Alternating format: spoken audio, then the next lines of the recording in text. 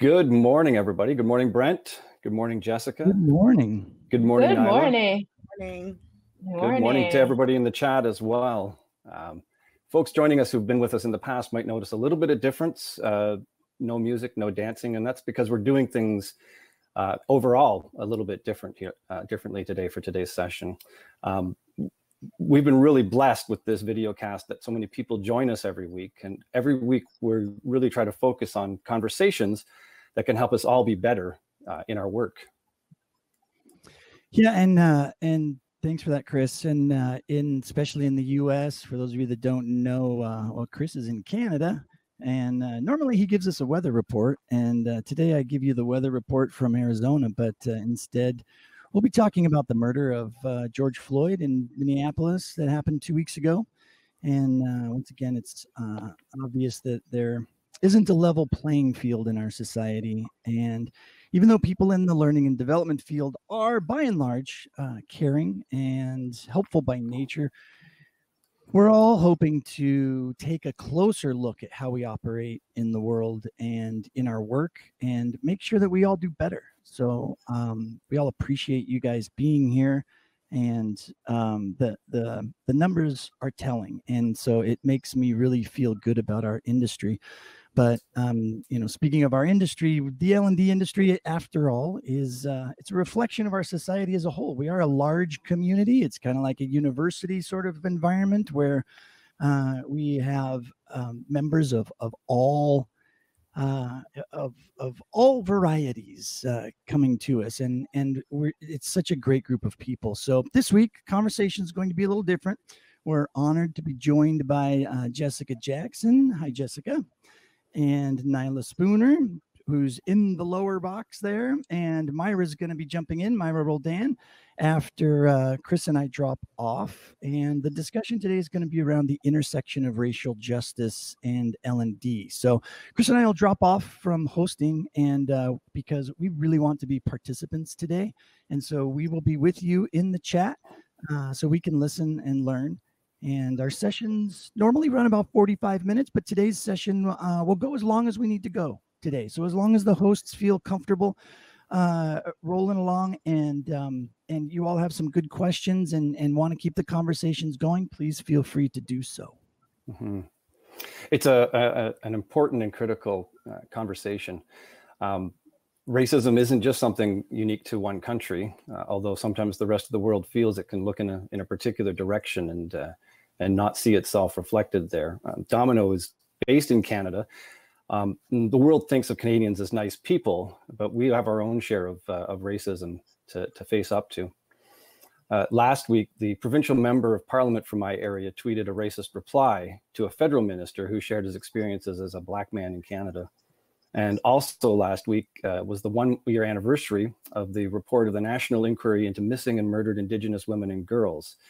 Um, and a year later, not a single one of those recommendations that came from that inquiry uh, and its calls for justice, none, none of that has been acted upon yet. Uh, and that's a deep shame for our country. Racism is not confined by borders. Um, and, and like we said, today's conversation is such a critically important one to have. Um, so we'll now turn the session over to Jessica, Myra, and Nyla. And Brent and I will pop into the chat. Awesome. Thank you, Chris and Brent. Um, and dominKnow, I'm going to invite uh, Myra to join us on screen. And while we're while I'm inviting Myra on screen, I want to share that I'm so incredibly thankful for this community that I belong to. Um, that it's willing to hold space for difficult conversations and emotionally charged topics. Racial injustice is not it's not new. Um, it's something that uh, is not easy for any of us to address. And I want to welcome both longtime and new IDIODC viewers to a different type of IDIODC, one that opposes the idiocy of racial injustice. And with that, I'm going to invite Myra. Myra, can you send me a note in the chat um, really quickly so I can add you? There you are. I'm inviting you on screen with us. Before we begin, and as we wait for Myra to join us on screen, I want to just step back. We know that racism is not new in the US, nor in Canada, nor in the world. Um, but I'm situated in the US, and that's the context that I speak from. Um, and our country was built on the blacks, backs of enslaved people, my ancestors, who have for centuries fought for equal rights.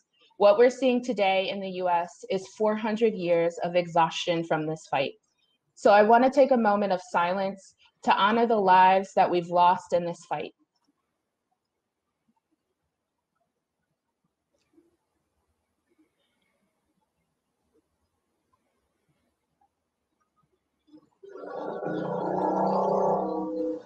We honor the lives of George Floyd.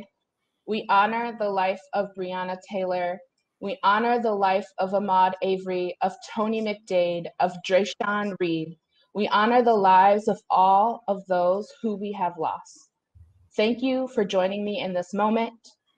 And I want to say that today is grounded in the personal experiences of those who are here with me. Today's conversation is an opportunity to learn and reflect on the ways that racial injustice intersects with our work in learning and development. Our hope is that we all, as a community, work towards a better future. The purpose of the conversation is not designed to trigger guilt. It's designed to propel forward. If you are here with us today, tell us in the chat what you hope to gain and share some of your thoughts about why you're here. And yeah, thanks, Myra. And then I want to go over and ask my co facilitators. Myra, can you tell me a little bit about you and what you're hoping to gain from this space? Yeah, so um, I've been on um, the show on the Crowdcast with uh, Brent and Chris in the past, and we've had some really interesting conversations around L and D. Um, and it's always interesting. I'm a woman in tech, right? So my career started off as a woman in tech, and um, being a woman in tech alone is is difficult. Being a Hispanic woman in tech is uh, kind of a double threat to um, to those who I work with, right? And so it's really interesting um, because you know we all know that racism is alive and well everywhere we go. Um, and it's those microaggressions that get us. Um, people may not be overtly uh, racist, but it's the little microaggressions that become very interesting to have to deal with. And I've been in the industry going on 20 years. Um, and so a lot has changed, right? We've seen some change over the years. Um, things aren't as bad as they were back in the early 90s when I started working, started my career. Um, and I, I hope to, today to just get um, some clear ideas and some thoughts for everyone because I was I've been getting a lot of messages from people asking me like apologizing and it throws me off. Um, I really feel that um, words are weak, um, actions are strong, and so you know I think that when you're thinking about you know like the issues we're dealing with i think you need to think more broadly about it's not what you say it's what you do. And so you know i attended uh, i marched in a protest in new york this weekend. Um, it was amazing.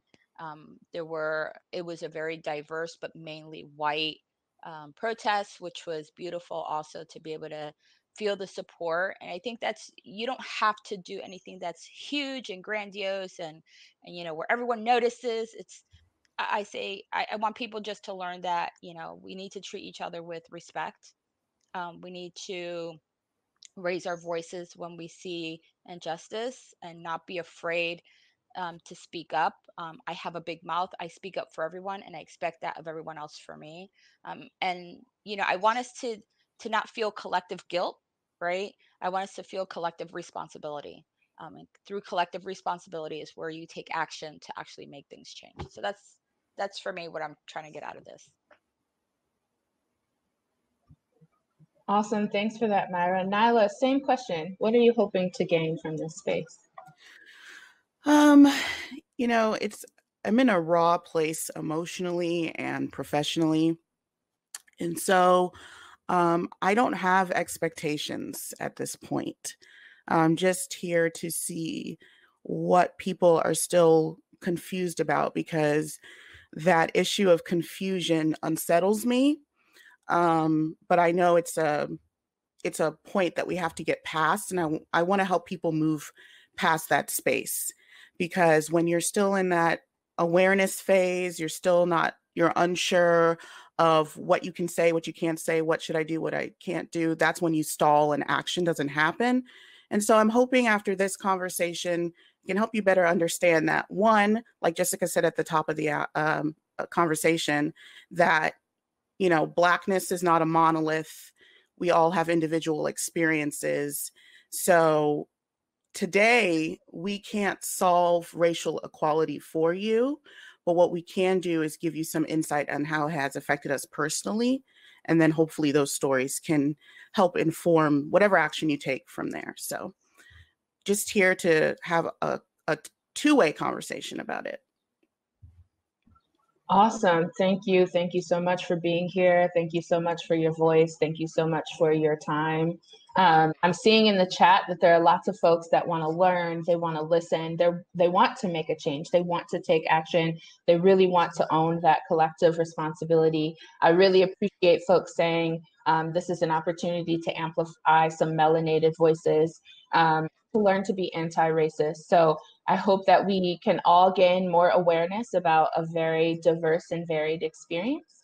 Um, and I appreciate you, Nyla, for acknowledging your emotions at this time. Um, I, I think that we're all here because we see value in creating a dialogue within our community um, and because we want to continue and do work. Uh, so I want to ask you a question about go back to that emotion. Tell me about your heart today. If you could describe it in a color, what color is your heart? And why do you think this conversation is relevant to your work in L&D? Um, my heart color. It like waffles. Sometimes it is uh what's an angry color? Sometimes it's ang- an angry color. It's it's red. Um sometimes it is dark. Um sometimes it's uh I can still find joy, so it's a, a happy color, but um remind me the second part of your question why is this conversation relevant to your work in L&D? Sure. So, in everything that I do, uh, I don't have the like luxury of separating my blackness from what I do, and I don't have a problem with that. Um, so, like, I'm really passionate about creating resources for Black women, women that look like me, and and showing them that you know there's more to HR, there's more to business than the roles that are typically brought to us, mm-hmm. and that what I'm as a learning and development professional, this role has changed my life. It has um, exposed me to a totally new community I didn't know existed. And it exposed me to skills that I didn't know that I could have that could also widen my career possibilities and really give me the opportunity to make more money and so I try every day to show other Black women and other women of color that, hey, this can put you in a different position in your life. And that, so that informs everything I do. That's why I work out loud. That's why I show people what I do and why I don't put it behind a paywall because I want other Black women to see me doing that. And, um, but you know, I was thinking when this first started that a lot of you, this is the first time you might be seeing me or Jessica or Myra. And um, a part of me wants you to see me for my work as an L&D professional, separate from my blackness, but this is where we are. So it's complicated feelings, a lot of nuanced conversation. Yeah. mm-hmm. I hear that. I hear that. I feel that. That resonates a lot with me. Um, thank you for sharing that. I did uh, want to say real fast. I just saw a comment before it goes away. It's from um, I don't know if I'm saying your name right, Takia, but she said that she's from the county where George Floyd was killed, and she's the only Black person doing diversity training for a department over 3,500 people. Mm. And this is something I definitely want to address in this conversation. That uh, the burden on Black people to fix this or to patch it up or to put a band-aid on it is very heavy Mhm. and just because i'm black doesn't mean i'm a diversity specialist an equity specialist or an inclusion specialist Mhm. so and i see this on the burden of black women a lot and um, so however we can support you takia we will but i want you to be confident in having a voice to say hey i should not be the only person doing this Mhm. provide me support of people who can help me with this because we are tackling a huge issue that didn't start with us. Mhm. So I I would love to talk about that more. Awesome. Thank you. Thank you. Um, did you have any um, thoughts, Myra? How's your heart today? What color is your heart, and why do you think this conversation is relevant to your work in L&D? Yeah, I would say that my heart is exhausted um, because this is not, for me, having been, you know, I'm a lot older than you guys and having gone through, I'm a 70s baby. So having lived through so much aggression and, um, you know, I, I grew up on Puerto in Puerto Rico. So I'm gonna be like, I grew up in Puerto Rico. Everyone's Puerto Rican there. I did not encounter racism until I, I moved to the States um, which is very interesting because it, it really threw me off guard. I was not prepared for it. Mhm. Um, and so it's, you know, um, someone, Ramika, I think, asked about like, wants us to elaborate on microaggressions. I would tell you my heart is exhausted. Um, Mhm. So from a color, it is like a faint blue because it, it just doesn't have any, it's like, it's just, uh, it's just exhausting, right? Like it's every time we have, um, something tragic happen, um, it feels like that's when people want to talk about things and when people want to try and fix things. You know, when the whole Rodney Mhm. King incident, when the whole Ferguson incident, uh, you know, incident, Mhm. that's when people are wanting to like, oh, let's put it at the front light and let's talk about it. But then it's like those microaggressions, and let's talk about those microaggressions really quick. Microaggressions are things that you may not know you're doing, right?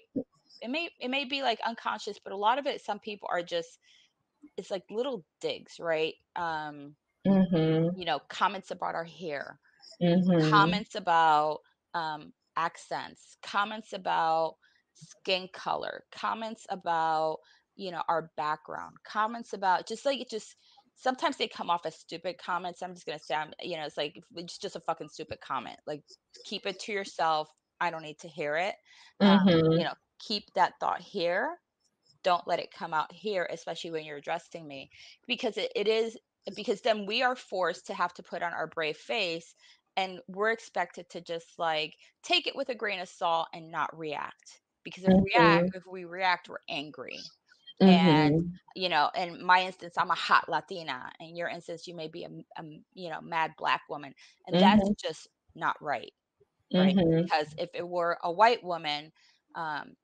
the white girl tears come on and then it's like Mhm. oh my god i offended you where with us it's they expect us to have thick skin and expect expect us to just take it and that to me is bullshit like i it's tiring it's, it's exhausting to have to live in existence where you're always having to work 20 times harder than your counterparts Mhm. um and and have to deal with all those you know little things along the way that people think are okay and they really aren't um Mhm. you know and so it's difficult and so it's just i'm just really exhausted right now um you know i've i've been marching in protests i've been um you know signing petitions i've been doing whatever i can i've been writing to legislators i mean but we all know that we live in a in a world where um racist racism is an education that is very that's Mhm. taught very early on um and so you can't eh, like it goes back it goes way back and so you it's it's not something that's going to get fixed today it Mhm. won't get fixed in 10 years it won't get fixed in 20 years as long as there are different colors in this world it is going to exist Mhm. it's just human nature um and that's why i think that having these conversations are important but it always blows me away that it doesn't happen until there's a tragedy and we stand up and we start like putting our foot down and saying like this is bullshit it needs to stop but then that dies out also right and things just return back to how they were and in another you know year or so there's going to be another tragedy and everyone's going to go up in arms again and right now i think everyone's up in arms because we've been quarantined people are angry people mm-hmm. are ready to leave their house people mm-hmm. are a lot of people are out of work so they have nothing else to do so it's like here's a cause i'm going to jump on it and you know this is wrong and but then their lives are going to go back to normal and they're going to forget about it and things are just going to go back to the way they were yeah i think that you you bring up like the fact that folks can forget about it is a privilege right and i really like someone in the chat talked about microaggressions as the death of a thousand cuts and when you live an intersectional experience sometimes that that even compounds right? Like as a woman as a woman of color as a queer woman all of these things are constantly being questioned um, multiple times a day. And it's not something we get to forget right? Mm-hmm. um, so knowing that like what are some of the ways that you that you're holding space for yourself that you're taking care of yourself in this moment? And all of the time because it's not just about this moment Hmm. I, I do want to say one more thing about microaggressions real fast and then mm-hmm. I can share. So one I realize that we have trainings around sexual harassment, active shooters. I've never been to a training about microaggressions. I've worked on a training about something called nibbling, which is the little biting comments we say, but it was all around um, ability. But it is nibbling to be in an elevator full of people and have someone turn around and say, Is that your real hair? It is invasive. Uh, some of the comments I see here, um, and in terms of L&D, we don't address these sensitive topics as if not talking about them is better, and it's not.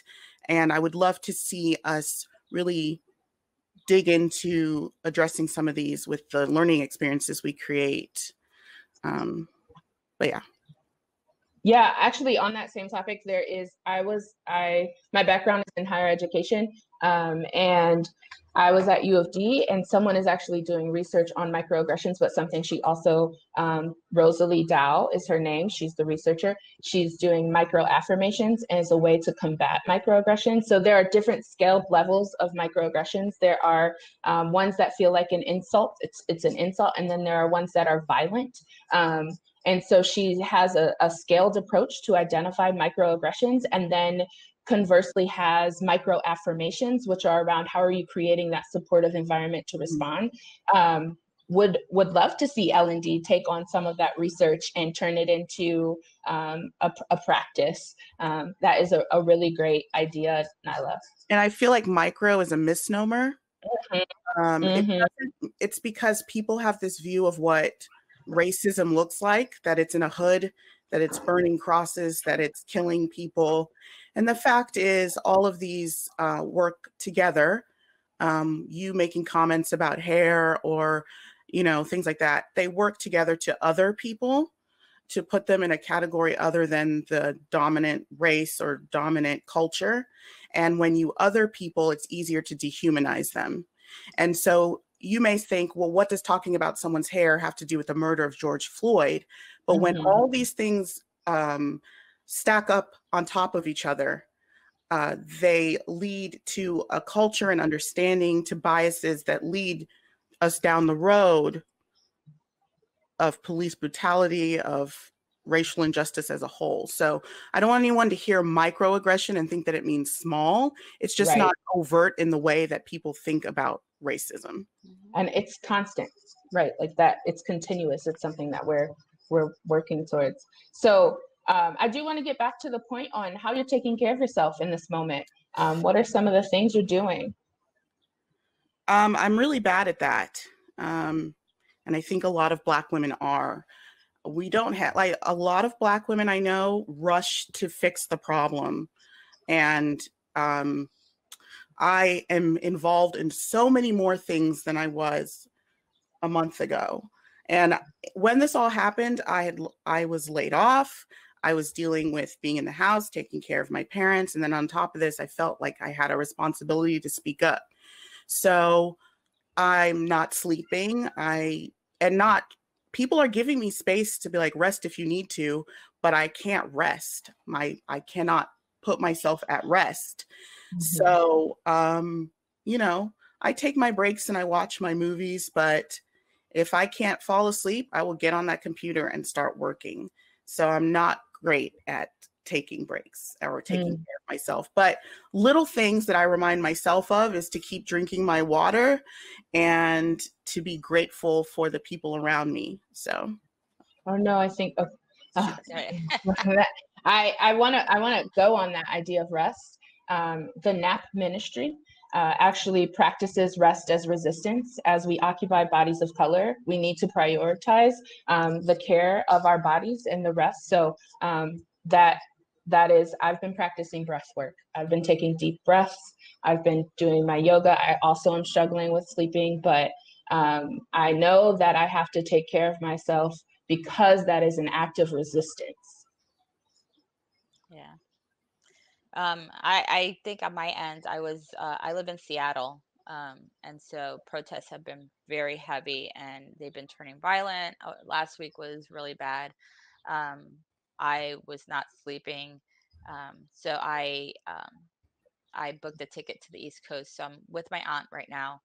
Uh, I was a little nervous, right, with the hook because we have so much going on. So I had to consider, you know, do I stay in Seattle um, and continue protesting and, and you know having the riots escalate? I live right downtown, so I'm in the thick of it, um, and I live by myself.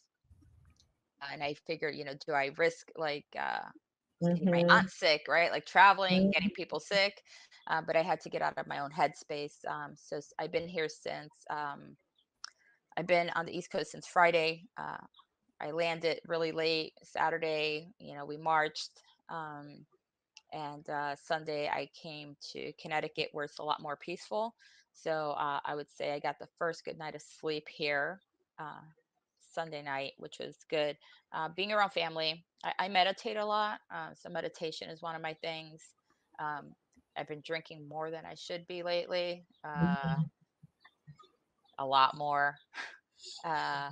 You know, it's. I'm gonna be honest. I'm gonna keep it real with you guys. Like I don't give a shit. Like I, you know, you, you like I drink, right? It's like you drink, you um, you try to. I, I've been reading a lot. Um, so right now I've been I've been rereading uh, White Rage, which is such an interesting uh, book um, because it's based on historical data. Um, and uh, it's really interesting. And I'm also building like conference sessions because I'm speaking at a bunch of conferences. So that kind of stuff has been keeping me distracted. So I'm always grateful for like the distraction of work um, because it helps me focus on something else instead of sitting down stewing in um, like my own thoughts, right? Uh, having a lot of conversations with friends too. It's very interesting. And I get a lot of people asking me, like, how do you feel? It's like, well, how do you feel? right? Like, mm-hmm. you throw that shit back at you. And how do you mm-hmm. feel about it? Um, mm-hmm. Because I'm exhausted. Um, mm-hmm. so it's, it's, we have to take care of ourselves, right? And I also feel that it's not our responsibility. This is so I'm gonna get on my soapbox. It is not our responsibility. It's not Nyla's responsibility. It's not Jessica's responsibility to educate our white counterpart. I'm sorry, mm-hmm. it is mm-hmm. not our responsibility to do that, um, because our white counterparts, although we get educated a lot on white culture, um, it is not our responsibility to educate you on on what we go through and on you know like it, it like when you think about it you have we have parents with minority children i had someone post i posted something on facebook about a little girl getting um, mace during one of the protests in seattle she was 10 and someone posted a comment talk about like i would never take my child to a protest right? So you know it's i posted it so of course i'm going to tell you like well i opt to take my kids to protest because my kids need to understand that they need to stand up for themselves they need to stand up for their rights and need to give a voice to people who don't have a voice. So that's why we protest and you may not be able to relate to it but you don't have to relate to it I, I could give a rat's ass if you can relate to it if you can't relate to it you have other issues um, so i'm very angry also uh, mm-hmm. which doesn't so I, i've been having to like con- like control my mouth and you know Mhm. meetings when people make stupid comments about like oh i can't go to Kohl's because of the protests like what is wrong with you Mhm. Mhm. Right. That's a microaggression, a micro Yeah. assault. yeah i can't go to Kohl's to do my returns because of all the protesters and i'm scared it's like uh, what world do you live in you know there like there's shit going on in this world and you're worried about doing a return to my to Kohl's, right? So it's just things like that. And it's really it's exhausting. It makes me angry. Um, I am extremely angry. That's why I, I don't know if I'm very active on social media on LinkedIn and Twitter. And I it's very hard for me to like I refrain. I do a work from home tip on Instagram every day. And even that's gotten difficult for me because I just want to tell everyone to just fuck off and like just shut it down, right? Like Mhm. but I know that I need to keep face and because not everyone is a racist. Right? I think we're all racist, right? In some way, shape, or form. Like everyone in the world is racist because even blacks are racist, Hispanics, we are racist. Um, we have our own quirks. So that's why I say like it's, it should be a collective responsibility because we all have to own our biases and our race, our own racism, um, Mhm. and our own racist thoughts. Because I can tell you, we're racist. All all races are racist, right? So it's not just a white issue; it's a Mhm. collective issue. And so I think it's we just need to figure out like how do we play fair, Mhm. right? Let's just play fair. Yeah, thank you. So I'm getting a lot of questions in in the Q and A. Um, a lot of them are going towards solutions. I, I'm going to acknowledge right now that I, I, want to hear from my sisters on this panel with me. I'm going to hold space to hear their perspectives and experiences because I think that that um, is important. And then we will get to the solutions, the thoughts in, toward later in the conversation. So thank you both for sharing how you're feeling. Thank you both for sharing resources. I see so many people pulling resources from just your your your natural interactions. Today, my heart is yellow um, in remembrance and optimism for the increased conversation, um, but it's also in the air of caution. Um, I'm fired up that these spaces are being cultivated, but I'm critical. Dialogue without action is not going to create change. And I do wonder if we'll ever truly dismantle an age old and pervasive system of oppression. I think this conversation is relevant because it's relevant in every fabric of our institutions, from those who lead organizations to those who teach future generations. There's an imbalance of whose voice is heard and valued at the table. This power differential an imbalance in who makes decisions and whose perspective matters is present in our economy, our government, our criminal justice system, our education system, our healthcare system, in every structure.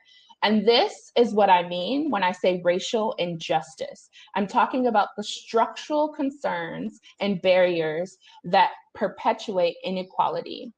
So now that we kind of have that shared language, uh, I want to invite Myra to tell us from your experience in L&D how you've noticed race and racial injustice intersecting with your work. Yeah, that's that's really interesting. So again, I'm going to share IT background. You know, I I I, was an engineer, um, moved into the L and D space. Uh, we there's a uh, so my I hate to call us minorities or people of color. That is just not terms that I like to use. Blacks and Hispanics, um, we have very little representation in L and D, right? Um, just when it comes to like the number of, of uh, blacks and Hispanics that actually work in L and D, I think it's a lack of awareness, resources. There's a- there's a whole root cause, right? Um, and then uh, just in the in the everyday training that people re- prepare, it is so white centric right? Like it, it only addresses those issues and it doesn't there's a slew of other issues that we encounter and we're not given tools to figure out like how do we navigate those extra barriers that are presented for us um, and so they training is very general right? It, and and i can appreciate you know training around helping women navigate um, spaces but then we have like whole you know american indians that have a hard time navigating space. We have a whole slew of other you know uh, people from different uh, countries that you know uh, you know the whole hispanic we're hispanic we're latinos we're latinx we're afro latinos they don't know what to call us anymore. Um, I straddle, you know, the Afro Latino Hispanic uh, sphere. Uh, my family is a rainbow. We're all Puerto Rican, but we're a rainbow of colors, um, and we're a mix of races, right? Um, and so it's very interesting that you know the conversations are about black you know black lives matter right now and they really do matter because those are the those are the lives that are most in danger right now right? Um, and and we need to bring awareness to that because racial profiling is huge and we racial we racially profile people in l&d also. Right? Mm-hmm. so um, when you do sessions on persona like let's build personas right? And people are like i'm gonna put a purple person because i don't see color. You do see color right? Mm-hmm. like don't tell me you don't see color you see color very well and mm-hmm. you do mm-hmm. see the intersection of race very well and you saying you don't see color is very cliche um, mm-hmm. i think it's about how do you represent different cultures because the us is a melting pot how do you represent different cultures equally and address the issues that they may encounter right like we we need to have better training uh, that addresses some of the issues that we encounter um, and even when it's just dealing with regular processes those regular processes don't always apply to us there's mm-hmm. always a different process for us and it's very interesting um, and that's something that just gets swept under the rug and i think that um, what i would like to see more in l&d and the way we can change that narrative is by having more blacks hispanics american indians you know people of different uh, cultures in the l&d space who have a, a voice right like we are in a position where we can give different cultures a voice um, and we can address the issues of racism uh, through training um, and I think the other thing that we need to really address is like a lot of people don't do it because they're afraid of retribution. Mm-hmm. You speak mm-hmm. up. If I speak up, mm-hmm. I'm going to lose my job. I can't lose my mm-hmm. job over you or you or you or you or you, right? Um, mm-hmm. And I and I and like I said, I'm older than you guys, and I go in with the like, fire me, like, hey, just do it, like I will mm-hmm. bring it. You know what I mean? Like, so it's it's a very different. Um, I'm jaded right? Also, I'm see I'm seasoned, I'm well seasoned and jaded. Mm-hmm. And so I think what I really want to see is I want to see us provide more opportunity and awareness to lower income communities mm-hmm. where a lot of where a lot of our families live right a lot our that's where our people are still um, living and where we've been locked into our lower income communities um, mm. And so I think by bringing an awareness of like, this is something you can do. Let me show you what you can do. This is technology. This is, I'm giving you access. I'm giving you information. Um, I think that's, we have to do a better job of that. Mm-hmm. I like, I'm seeing such great commentary in the chat. I like what um, Tamika you're saying. I, like you need to see our color. Um, that's a part of who we are. Um, I like the conversation of aren't we tired of hearing that systemic racism can be solved by training? It hasn't been working, right? Like these these things exist and we've been training. Um, so I see really great, really great commentary in the chat, but I do want to give um, Nyla a chance to to respond on the ways that racial injustice and race kind of show up or intersect in your work. Um, right now, I'm I'm working with uh, a team, a collective of designers it's called Design for Humanity. And we're working together to use our skill set to develop training around these issues. Um, I don't think that training doesn't work. I think that it trying to solve systemic racism is not is that's not what's going to happen. What it can do is address biases and like we were talking about microaggressions that um, help perpetuate the atmosphere of systemic racism. So no, I don't think L&D training can solve, um, you know, police brutality. Um, mm-hmm, I mm-hmm. think that if you're stuck in a space where you're conf- where you're willing to have your worldview changed, but you're confused about how to do that, then maybe yes, you do need to sign up for a course to to understand what a microaggression is. Mm-hmm. Um, but in, we try to change worldviews in L&D. Like that is the grand idea. A lot of it, it doesn't get done a lot of the time. But ideally, Mhm. that's what you're trying to do, right? You're trying to change the way someone views something. And and that is a huge task. And I don't want anyone to think that I can do it. I I don't understand whiteness. I, I don't have those lenses. Just like you're confused by some of what we're saying, I I see how it affects me, but I don't have the lens. I don't see from those point that point of view. Mhm. So where I'm still I I get confused when people don't understand things that I say because I we live it every day. I live it every day. But it's not my experience to have never heard it before. So Mhm. like when people say, "Hey, do you want to help me with this training?" I'm like, "Are you training black people to understand racism or white people?" Well, I strongly believe that you can approach this um, and work on it without burdening me to have to be your total subject matter expert. And I can give you my experience, but I believe that your training as an instructional designer, you can approach this in a way where you understand your user as a white person and that you can go talk to white people about, hey, what do you not understand about this? How can I change your worldview? Mhm. And so Yeah. I I I don't mind um, being a part of building the infrastructure to make this training available, but I Mhm. can't solve it myself because I don't I I don't see whiteness in that way, and I so Yeah, I appreciate that those thoughts. Um, I also appreciate in the beginning of the conversation you you you said like I'm not a specialist around DEI, right? Um, and I think that that's one of the ways that race and racism shows up in my work because I have over a decade of doing DEI social justice training, right?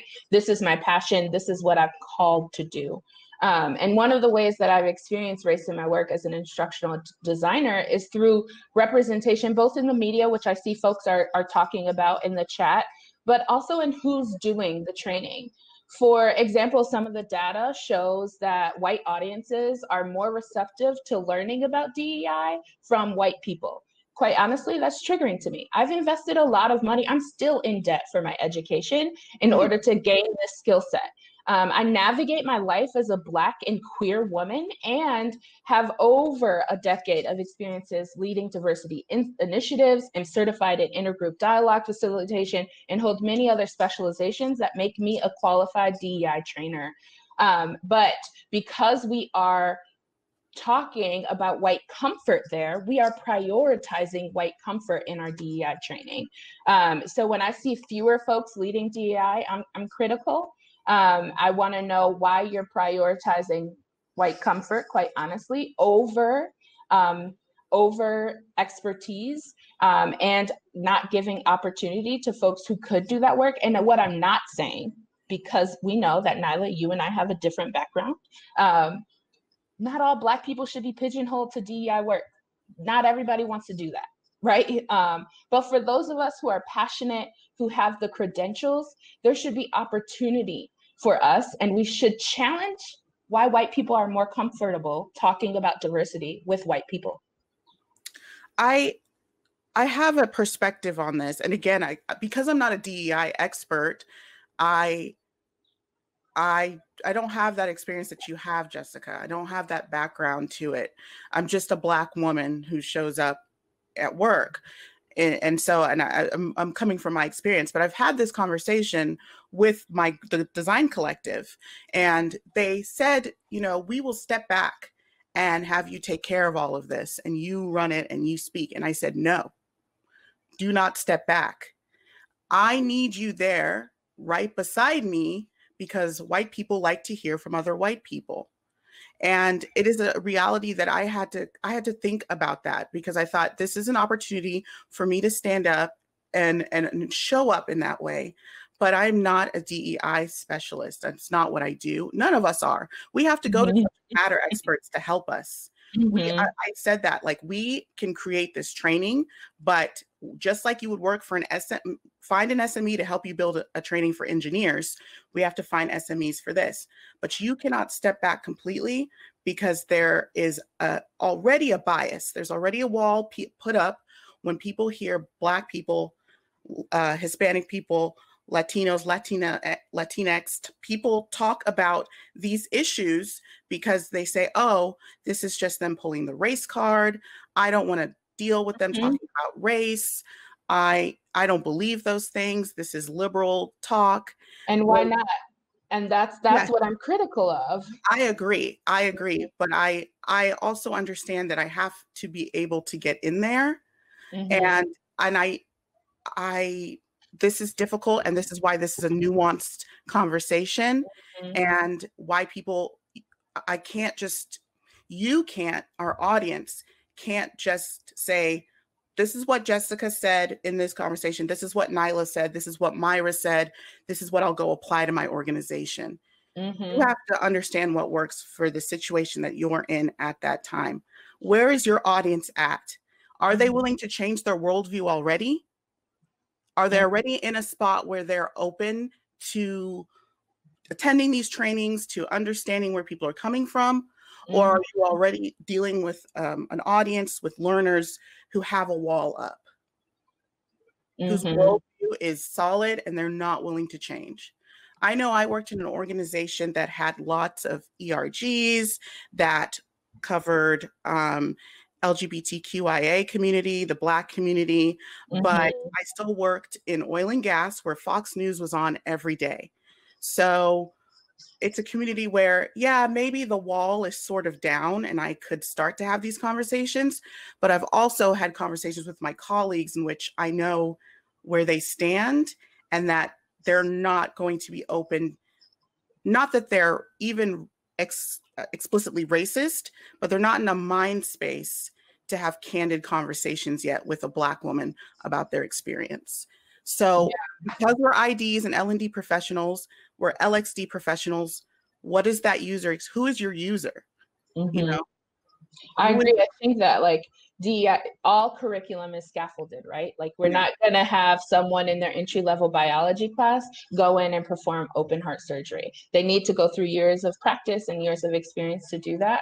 Um, and I just, I just am curious about, and I see in the chat like not all white folks are uncomfortable with folks of color, but th- that's been my experience. Y'all don't you you guys don't have to say not all white people in this conversation. yeah. I want to shut that down right now. We know that there are exceptions, and we know that you hear us saying generalities, but just like we said when we started this conversation, that these are experiences from three individual mm-hmm. black people, Hispanic people. We need you to understand that we know you have individual experiences. We're talking about systemic issues. So I know that there's going to be that immediate, like, I'm white and I'm doing this. You know, there are exceptions. We understand that. We work with you. We know you. We're friends with you. We understand. We're talking about this systemically. Yeah. So you don't have to say not all white people or this is my experience. I I do I do understand that. I mean, share your experiences. I'm not saying don't. I'm just saying don't feel like you have to immediately say, you know, I don't know if that's correct these are how we've experienced it yeah and and let me just add to like and i and i did say it right we all have we are all races are have a level of racism mm-hmm. like it mm-hmm. just point blank right um being puerto rican i can tell you we are a proud fucking bunch and mm-hmm. we have um we're racist against other hispanics right like it's mm-hmm. like it's down it's just down right like yeah um, and so i think that you're right like it, i think this is it's just racial tensions are high right now and so like mm-hmm. I think, mm-hmm. and i understand that our our white you know peers are are on high alert right they're like i'm going to say the wrong thing mm-hmm. offend someone and they're going to get mad or they're going to report me or whatever it is right there's this we're instilling this whole fear and it's so sad to me that we live in a culture that's driven by fear religion is driven by fear politics is driven by fear relationships are driven by fear even by you know like relationships with white friends it's always there's it's mm-hmm. tenuous because there's still levels of racism like my best friend is white you know um, anne rollins you guys all know her she's a ginger i love um, right and mm-hmm. and just the simple fact that I call her a ginger that I love, that's a form of racism, right? That's I, am calling out her. I'm calling her out by a trait, right? Um, mm-hmm. Um, but she and I have a level of confidence and a level of trust trust with each other that we do it in jest. But even in jest, we both know that the shit that comes out of our mouth is sometimes highly racist, right? We just don't take it as being racist because we're doing it to each other. We would never we really try to refrain our inside jokes for you know the outside world um, but i think that even in in relationships like that like i think you know when we talk about like diversity and inclusion training like i diversity and inclusion training I, i'm sorry is bullshit um, i think what really needs to happen is we need to have conversations right? Bring mm-hmm. two groups together have a, a moderated conversation right? What are some of the issues that you're dealing with right? Bring to light what people in your organization are dealing with that others like you know people uh, may not be aware of mm-hmm. that's how that's going to be the ber- the best version of diversity inclusion because if there's the problem with training is that it is removed right mm-hmm. so you are seeing it you can't relate to it you're going through the motions it's unrelatable but when you put people face to face for some kind of um, inclusion uh, activity or conversation, as long as you can create a safe space, I think that's a lot more impactful because there's someone they can relate to, right? It may be someone that I have coffee with every day, and I never realized that, oh shit, half of the shit I say is offensive, right? Mm-hmm. Mm-hmm. Um, but now I have a person I can relate it to. So I think that I think that a, we do a really shit job on training, um, and everything we do is training.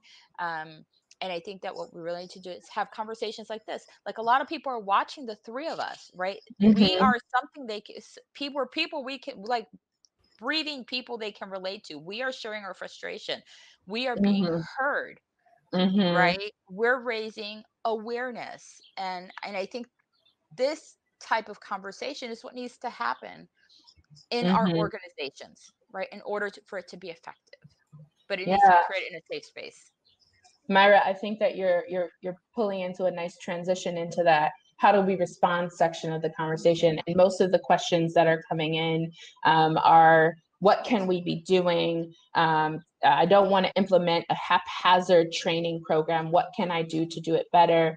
Um, how can we or how should white people balance using our privilege to advocate while also lifting others up and avoiding white centering?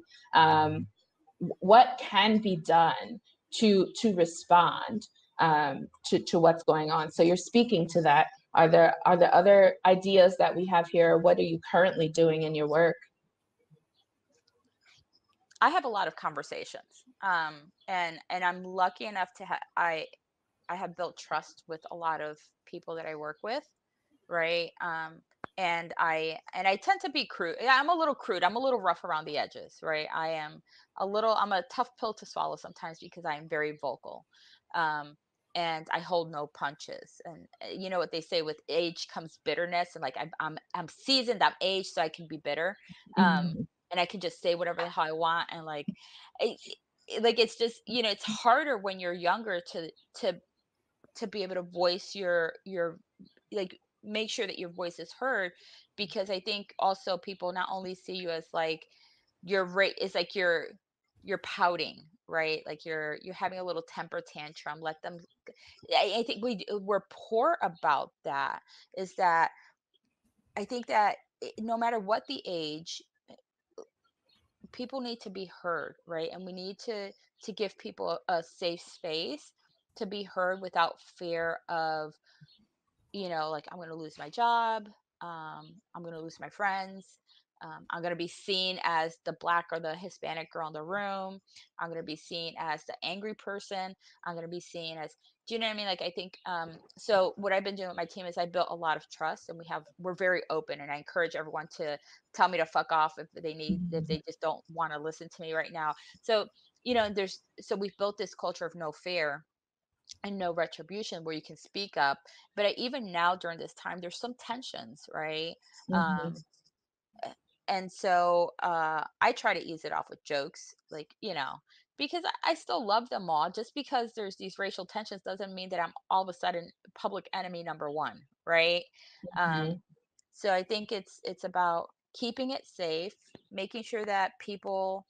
I mean, some things are going to be offensive, but sometimes you just have to let people talk, right? Because it is their opinion.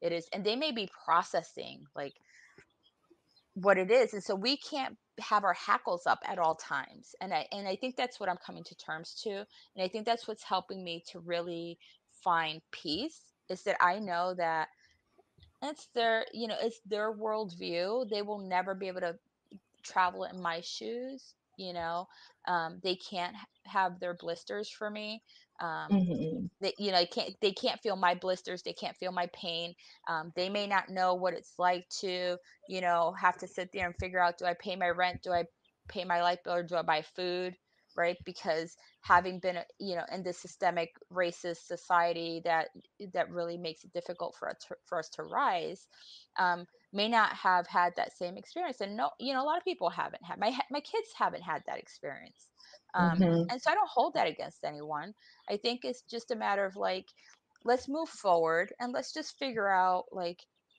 how do we treat each other? Again, I'm going to say this with respect. How do we treat, treat each other with dignity? And how do we give a voice to people who may not have a voice? Like, this is my big thing, right? Because the three of us are speaking up. A lot of people will not speak up at work. A lot of people will not share their thoughts.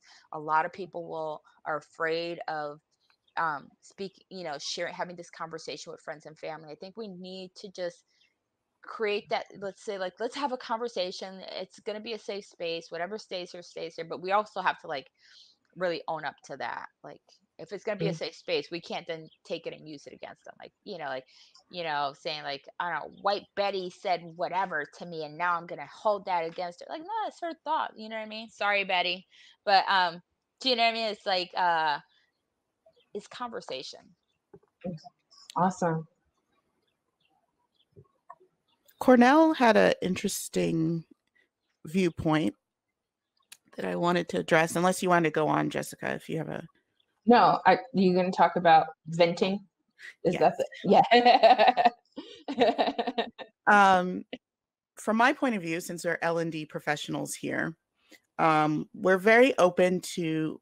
We should be to addressing our community, to getting, to doing focus groups, to talking to our users, to collecting that data so we develop informed training. Um, we do our front end analysis, we do our needs analysis, our task analysis. This is a part of all that. Um, and so next is the next part of ADDIE or SAM or whatever you follow. To me, that makes perfect sense. So the next step is your development or your design. Um, it doesn't have to look like traditional training. It just has to look like whatever you think that action should be like that is actionable. So that's what I would say to people saying, what do we do with all these vent sessions? Someone else also said, you know, tell them to log off because, you know, this listening is an integral part of that. And I understand that people are very um, ready for action. Uh, and so am I. And so that's why I create a mentoring group in which I can help Black women trying to get into instructional design. And that's why I actively set a goal to mentor 100 Black women in five years. When I say that, people hear that number and they freak out. And I'm like, why? That's 20 women a year that I have to have a conversation with. Why is that so outrageous to you? It's not hard. I can create a system in which I do that. And Mhm. so that's how I'm helping. I'm Mhm. helping by elevating other women who have questions again by not hiding it behind a paywall. And but also showing them hey make an investment in yourself when you're ready. This is how you can learn about this. This is how you can get a degree in this. And so i know what i'm doing. I know what my actions are. And again to me it's simple. I can move to that action quickly. That idea came up. Um, i can't explain to people the actions that they need to take. Mm Mhm. That's Mhm. not my role. I'm giving you the user research. I'm giving you the background. I'm giving Mhm. I am I am giving you the information. you're an L&D expert, you're an instructional designer, you have the tools to create whatever the learning experience doesn't have to be training doesn't have to be um, e-learning it doesn't have to you know the the experience you have the tools to do it mm-hmm. yeah that that's an i love the question that you actually put in the chat nyla where you said how would you treat this if it was a performance issue um, that's what we're trained to do right uh, I'm I'm lucky to work at TorranceLearning, where we host a lot of free events for educational opportunities. I think that that's one way that, while not blatantly um, a step towards um, equi- equity and inclusion or uh, addressing racism, I think that it offers intersections like that's how i found myself in l&d was attending a free conference that they hosted. Um, and one and one of the sessions at the free conference was on bias. And so in that moment i felt very seen. I do think that a lot of the work that we have to do is around hearing and seeing um, the experiences of folks of color. Um, and i think that you also my i'm a you know i'm the host of the xapi cohort data and assessment. I'm a data how are you evaluating your organization? Are you looking at who are the top leaders? Who whose voice is at the table? Are you looking at your vendors that you're supporting? Are you looking at your training and who is represented in your training and how frequently your trainings are? Are you having conversations in your syncs? Could this be something um, that opening up your staff meeting is a conversation of what did you learn this week about being anti-racist? This that that simple question to see what people are doing it holds folks accountable and you can implement it in your structures. So how are your structures combating racism? These are all questions that you should be ask, asking yourselves and auditing your organization and continuing to improve. It's not one level. It's not interpersonal only the interpersonal microaggressions that I experience in the workplace. It's who I see in leadership. It's who I see. It's it's it's through all levels. So I think that you have to audit your organization to see how inclusive it is. Um, and then if you notice gaps, respond and take action. Um, Megan, who is our CEO at TorranceLearning, is actually looking at our vendors and who we partner with and how we're starting to diversify that roster. Decide where your money goes, right? Like that's a really easy way to start investing in um, Black and Brown people. Look at the ways that you're recruiting and your recruiting sources. If you're only looking at a, a source that doesn't have a lot of folks of color in it, then then start looking at recruiting sources that prioritize folks of color um, just start thinking about your systems and processes and how they either perpetuate or dismantle racism. Um, and th- those would be my thoughts on on what to do next. Um, happy to continue that conversation, but I love I love what you said, Nyla, about like it's, it's not always our job to tell you what to do next. All I can do is tell you who I am, what I'm experiences, and you need to do that that listening, that deep listening and listening to understand and not listening to be dismissive and defensive of what you've been doing. Also, it's okay to be to make a mistake and to be wrong. I think people are also concerned if I release this thing and it doesn't address everything correctly the first time, I'm wrong. But when you release a new course, a new training, it goes into, you know, your assessment and evaluation phase. So just be honest and transparent with people. We're trying to get this right. If there's anything that's wrong or that we need to fix, then how do we do that? It's simple as that. Mm-hmm. Failure is a really key tool in what we do. And so understanding that, I think, and being comfortable in that discomfort and not being right is going to be really important. Mm-hmm. Mm-hmm. So, so ladies, there's a. I'm looking at the questions that were posted. There's an interesting question here. It says, "How can or should white people balance using our privilege to advocate, lift up others, and also avoid white centering?" So, I think that's that's an interesting question, right? How do you use your privilege? That's like I always, anytime I hear that, like, how do I use my white privilege? I'm thinking, like, how do I use my bankroll? Right? That's that's always what I. That's kind of like that. It's like, how do I use my million dollars to? You can't, right? Like, it's it's you can't like you can't throw money at it. Um, I think, yeah, like this whole thing about we have terms, right? We we always hear buzzwords like white privilege and um, white uh, black rage and um, you know hot hothead latinas and and we hear like all these buzzwords and these terms and these labels that we apply to each other.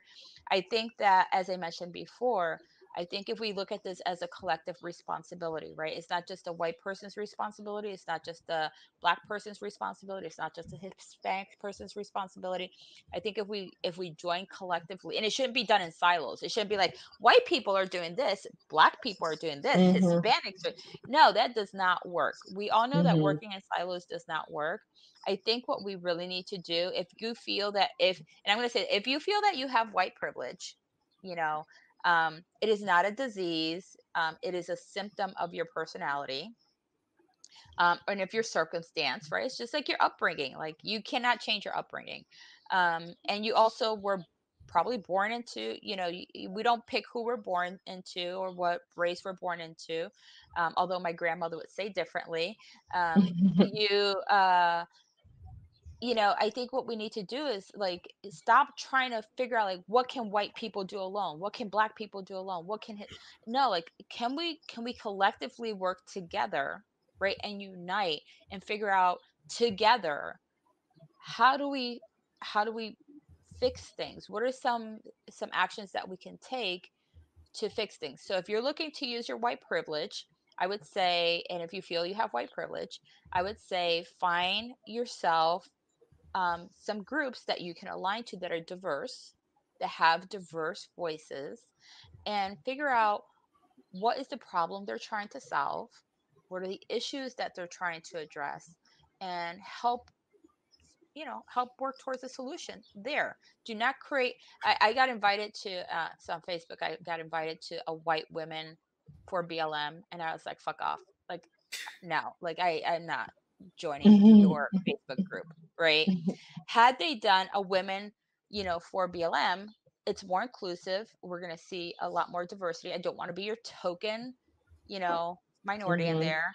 Um, let's work together and let's um, let's have a conversation. I think through conversation we figure out we figure things out. I think also with the whole you know black lives matter initiative going on i've been a little disappointed also because they have opportunities to get to the table to to have conversations and they're not coming with their demands or what they want to see changed and that's just been very disappointing to me let's let's create together like what are the things that we want to change together let's identify that and then let's try to work towards some change there so blm is black lives matters sorry uh, using mm-hmm. acronyms here um, mm-hmm. and so um, uh, Black Lives Matter is not only about Black people. There are a lot of Hispanics that are also in that movement because Hispanics are Afro Latinos, Afrocentric also. So it's very interesting. Um, you know that we have this this opportunity to raise our voice and we're not doing it properly. We're wow. Yeah. So. Yeah, I I think that so we've gotten to most of the questions that were submitted through the through the chat. Um, there are lots of uh, how do we help people under the final question is how do we help people understand the issues of today um, about black um, economics? That these impacts today are the collateral consequences of stolen body and stolen land and stolen humanity. Um, i think that that i would say like think of it as we're doing a race and some groups had a 400 year head start and in addition to that head start, there were resources that center on their experiences, that normalize their experiences. And now you're throwing us in the game. Um, sometimes, like w- when you think about money and wealth and, and, and think about it that way, for, there is a 400 year head start that we are trying to close that gap. And I, I'm not sure how to close that gap but I do think that that's something we should be reflecting on and thinking about. I don't know if uh, my other panelists have a thought on on the economies and how that that. I'm not. Uh, I'm not an economist. I have my views on capitalism. This is the where we live in. This is the structure that we've built. Um, I just think it's first of all, I have to be honest about our history. I mean, the way we're taught things to begin with is problematic and that you know i'm just trying to help people in l&d and that's a whole other thing to also break into the schools but that's again what my collective is trying to do is start from kids like mm-hmm. what are you being taught about your history so i think that's that's going to be important too um eh, in terms of like i guess that question is asking like how do we explain maybe why black people um why there's an income gap or mm-hmm. why there are disparities in um, their economics in general and livelihoods and all of that. That's a huge conversation. that is not something that's totally different from what we're talking about here. But that's kind of like what I am trying to stress to you guys. And what Jessica mentioned earlier is that we can talk about police brutality, but then there's like so much other stuff. And that's what we mean by systemic.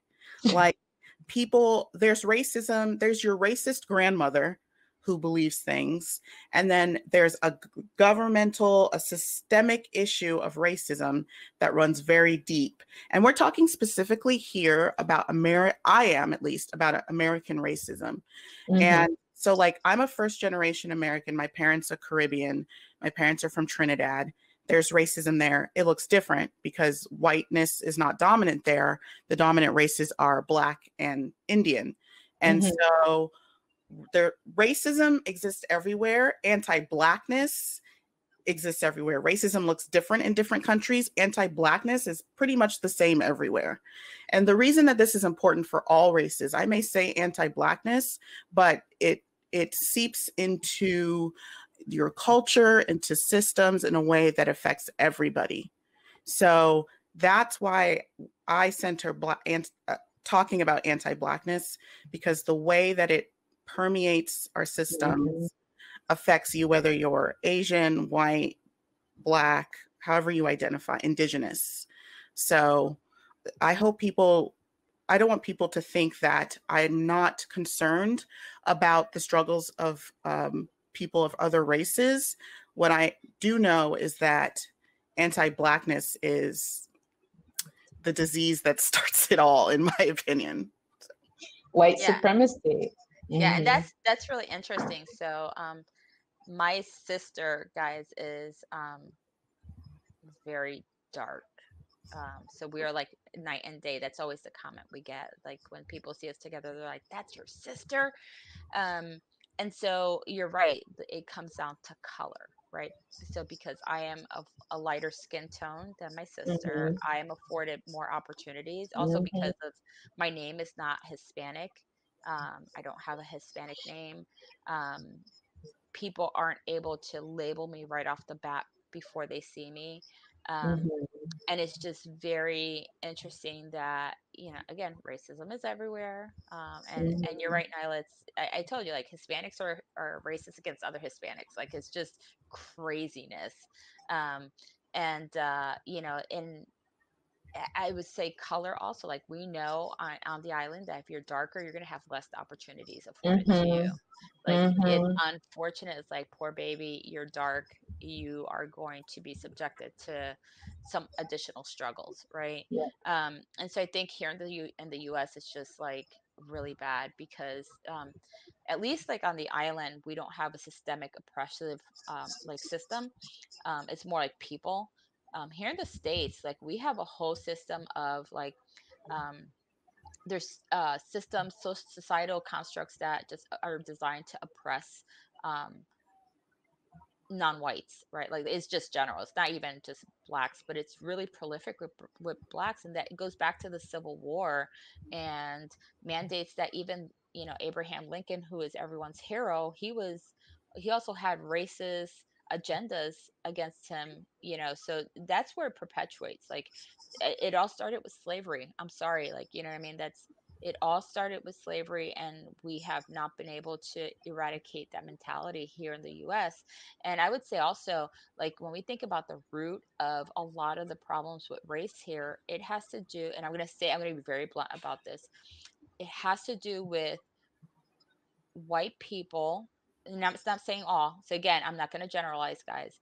Um, but white people in power seeing um, black people and Hispanic people with ambition and and and rising to some level of status that's very hard for um, those dominant uh, people of you know that are white and and so that's kind of a root issue that we have here in the US and it looks like I'm by myself now I hope not no you're, we're still here with you yeah I think that um, we're bringing up conversation. This conversation could go on. Yeah, it could really go. On. Yeah. Um, so I like how we. Uh, I, th- I think that this is a a good segue to talk about um, kind of like how you're feeling in in this space in this moment, um, and th- and then really I'm, I'm grateful for all the conversations. I'm grateful to your point around colorism. I know that as a light skinned individual i navigate a different world than my dark skinned sisters and i and i um, some of the actions i take to combat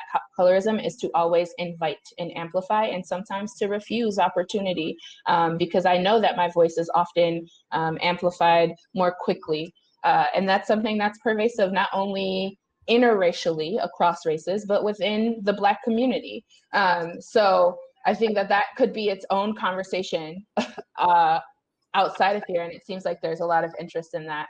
Um, but I want to know in this moment, as we wrap up this conversation, how are you feeling?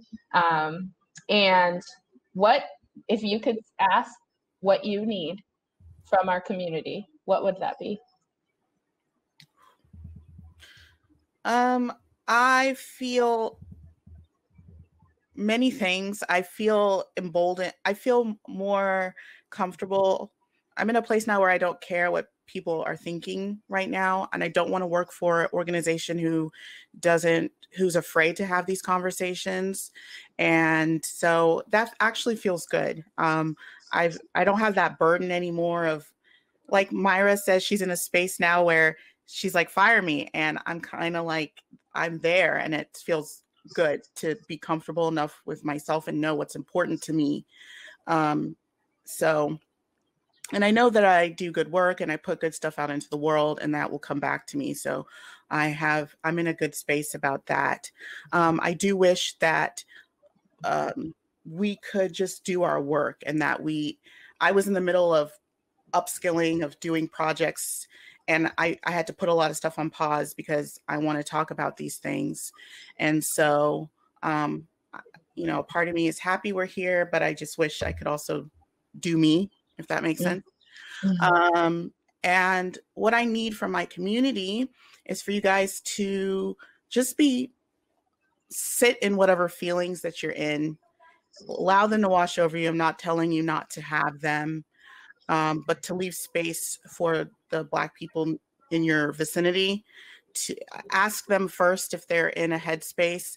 I've made that mistake where I was just rallying and I reached out to somebody and they're like, I'm not in that space, girl, to be talking about this. And that was a reality check for me. So I know you want to help, but just ask, you know, hey, are you in a headspace to work on this right now? Um, because a lot of us, this is trauma. Mm-hmm, um, mm-hmm. It's not just conversations. This is repeated trauma. This is generational trauma. And it's not to be taken lightly, especially when you have to debate your humanity with people that you sit next to at work. So mm-hmm, um, mm-hmm. just please leave space for us to like figure things out. We are willing to talk. Some of us are willing to help. Some of us aren't. Some of us will never want to work with you. And you just have to be okay with that. And so I just want you to kill your ego. And if you're coming from a genuine place, um, that's going to be the most important thing. Awesome. Thank you. I would just say uh, on my part, um, let's keep the conversation going. That's what I want from my community, right? Let's not it doesn't have to be an overt conversation but just be mindful it's i mean and guys like i get accused of being a hippie all the time but like i'm gonna say like let's keep the positive vibes and the good karma and the you know let's just be kind to each other and let's really be mindful about how we address each other and how we treat people um, because i can tell you like um, yeah from a race perspective racism will always be alive and well um, mm-hmm. i am 50 years old racism is still alive and well in mm-hmm. the United States. and I feel that it will continue to be alive and well because there's racism everywhere. I think um, for each of us can do our part and just making sure that whatever we're spreading, we're spreading love and we're spreading positivity and we're being authentic and we're speaking up and you know and and as nyla said we're not all in the same headspace um and so it's also providing support like what can i do nyla to help you you know feel you know that you are that you're feeling safe or you know is it having a do you just need to talk? Is it a conversation? So it's, so i think it just you know i think that if you're concerned about um how your non-white friends are doing reach out and ask them just and don't ask them like how do you feel about the current situation? Because that is not helpful. I would rather just you ask like how are you feeling today? Right? Mm-hmm. what's on your mind today? Um, because sometimes we just need to offload. Um, but if you're going to ask those questions also be ready for for like things you don't want to hear right? Mm-hmm. Uh, mm-hmm. Uh, and just be a willing ear like just listen listen. You can learn so much from listening. Awesome I want to thank both of you for being here. And, and my my ask for our community, my ask is for folks of color today. I want you to recognize that rest, self-care, self-love, healing practices, because we are in a traumatic moment, that is resistance. So mm-hmm. I want you all to take a nap today. I'm, I'm looking at you, Nyla. I want you all to to do something for yourself today, to be a little selfish and recognize that we are all in a, a traumatic space. And for everyone else, um, I challenge you to take something you learned from these amazing, amazing humans. Thank you for sharing space with me. Thank you for for joining this conversation. I I see you, love you. I'm sending you all of the positive vibes. I too am a hippie. Um, and uh, continue the discussion in your own work environments. Take at least one thing that you learned today and put it into action. With that, I'm going to wrap it up. Uh, and thank you all for being here, for your attention, and for your love. Have a really great, um, powerful day. Thank you. It was good to see you, Myra. yes, Jessica, thank you for moderating. You did such a great job. This is amazing. And Nyla, I like, girl, have a couple drinks, buy yourself a bottle of wine, smoke a joint if you have to, take a nap. yes. Bye. Bye, everyone.